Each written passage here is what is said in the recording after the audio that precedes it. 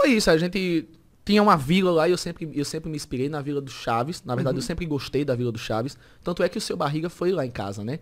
Ele foi- saiu do México e me deu uma entrevista lá na, na Tá casa. ligado? da- Acho que eu, eu lembro de quando viralizou isso, aí. Isso, na casa da vila Caralho, e você foi é lá. famosão, mané. Mais ou menos. Mas, cara, mas o projeto é famoso, né? A, a vila ficou famosa. Porque quando eu, eu comecei, o Instagram era uma parada muito elitista, né? Então era só foto de viagem, look do dia, comida e tchau. Aí eu comecei no Facebook e aí os vídeos bom, bombavam lá 20 milhões, 30 milhões. E botava a mamãe atrás, mamãe era o sucesso, né? O povo gosta de ver, engraçada. e aí acabou. Aí eu disse. Só que o, o Facebook não dava dinheiro, né? Eu disse, então vamos pro Instagram.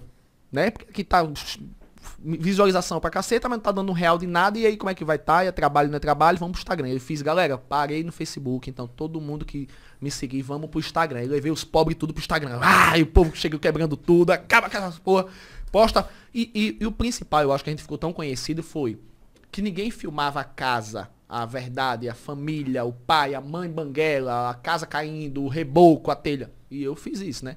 Junto com a minha galera lá. Então comecei a filmar meus vizinhos e não tinha nenhum ator, nenhum personagem ali, todo mundo era vida real. E era eles- uma vila mesmo. é uma, é uma vila mesmo. Aí a galera toda lá disse, velho, é isso, aceita como você é, filma a sua É realidade. bem reality show isso aí, né? Bem reality forma. show. E aí, bicho, já era, o povo precisava disso, era um momento que eu acho que a internet precisava de verdade, assim, de, de família, de conexão com, com a sua verdade, porque era tanta coisa fora da sua realidade que você não ia se conectar nunca. Então quando eu vim com essa pegada popular mesmo, acabou. Porra, mas eu acho que esse é um. É, é- é, talvez o segredo pra você alcançar o, pelo menos o nicho que tá ali que te envolve, tá ligado? Sim. Porque assim, esse, esse lance que tu falou é total real. O bagulho do Instagram ali. Por que, que eu nunca curti o Instagram? Porque eu, eu entrava lá e via os caras viajando, via os caras lá com dinheiro pra caralho, com os bagulho, e aquilo ali não era minha realidade. Sim. Foda-se essa porra aí, não, não quero essa merda. Parece um cara postando os bagulho da vida dele lá, da- do, do que acontece de verdade, isso aí, porra, isso aí Conecta. conecta pra caralho. Eu, tal- isso talvez seja uma das coisas que mais conecta. Conecta, conecta. E é de verdade, né, velho? E as pessoas, porque assim, tem um momento que a gente nem a gente sabe se tá mais verdade, se tá fake, se tá por número, se tá por like, porque chega essa parada. Tem um momento que você fica ali, às vezes, no automático. E eu, e eu sei disso. Então, é, é- é- mas como é meu pai, como é minha mãe, como é o povo que eu conheço desde criança, então eles meio que me reconectam quando eu preciso voltar pra, pra realidade. Porque às vezes você sai, você sai, velho.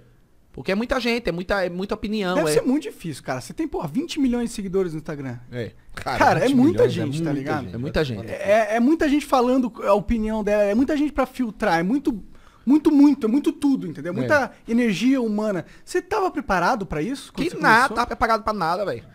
Tava preparado pra nada, nada. Tipo assim, eu só queria ficar rico mesmo, assim, ter... eu só... Motivo nobríssimo. Porra, quem não quer ficar rico, cara? Eu queria ter dinheiro, velho. Eu Eu, queria quero ficar ter dinheiro. pra caralho. Eu queria ter dinheiro, eu queria comprar as coisas, as coisas que eu quisesse comer, as coisas que eu quisesse vestir, eu queria, sabe, me ver minha mãe melhor e queria ver toda essa coisa que todo mundo já sabe. Só que aí não tá preparado. Só que eu sou da, da métrica que não espere ficar pronto pra começar, né? Você tem que começar. Você nunca vai saber quando você vai estar pronto. O que é, o que é estar pronto? O que é ser pronto? Talvez nunca fique pronto nunca, mas tem que começar. É Pode verdade. crer, pode crer.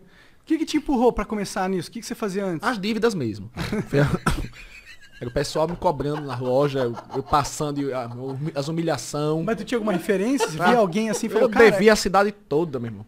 Eu era referência de calote lá na cidade.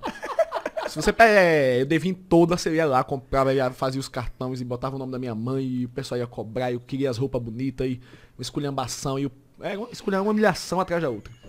Hoje tá com o iPhone 12 Pro Max Liga aí, velho. Mas ainda tô devendo gente lá, vou ter que vender algum momento pra pagar o resto que ainda dele.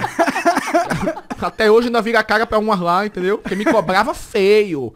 Zé, no meio da rua, passando nos desfiles de 7 de setembro. Entendeu? O pessoal, ei, ca- cadê? Bora? Era desse jeito, você é doido? né? Ei, vamos se limpar. Era se limpar na época. Eu olhava assim, Deus, mas eu tô limpo. Caralho.